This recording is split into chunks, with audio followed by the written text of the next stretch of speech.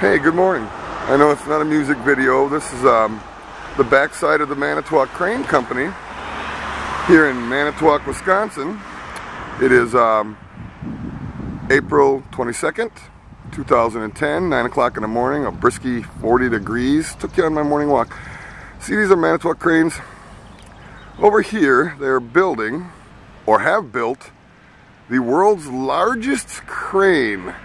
Now this crane, let's see if I can get closer. This crane is, is I have a couple friends that work here. So I mean, these are not written down facts. As a matter of fact, I don't think anybody knows about it yet really. This crane is rated out to carry some 50 million pounds. 50 million pounds. That means that two of these would pick the USS Badger right out of Lake Michigan. Now, throughout the company's history, Manitowoc Cranes has played a really big part in American history and, and worldly history for that matter. Uh, does any do, do, you know that there was a Manitowoc crane at Ground Zero on 9/11 when um, the buildings fell? There was. There was a Manitowoc crane there.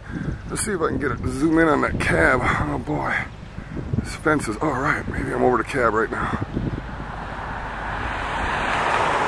The cab is up in the front section of that of that um, big crane. Now the yellow things here, if I can get a better picture, the yellow is just loaded with just tons and tons and tons and tons of weights. And that's what they're using to test run this thing to see how much it'll carry. But on the backside, then they have to have counterweights over there to count, well, obviously to counter for the weight on the booms. Now, by the time they get the booms put on this thing, it's supposed to be able to be seen from Sheboygan, Wisconsin, which is some 30 miles south of here. That's amazing. This is a large crane. So it's supposed to be the biggest crane in the world right now. Well, of course, they got to get the booms on. And uh, when they fire this thing up and roll it around the yard, I feel it at my house some almost three quarters of a mile away through the field. It's really something to see. I realize it doesn't look like much here, but um, it's really something to see.